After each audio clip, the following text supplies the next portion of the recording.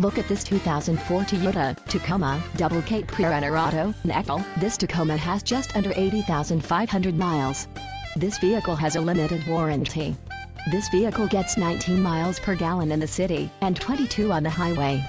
This Tacoma boasts a 2.7-liter inline-four engine and has a 4-speed automatic transmission. This vehicle comes equipped with power steering, AM-FM stereo, tinted windows and driver airbag.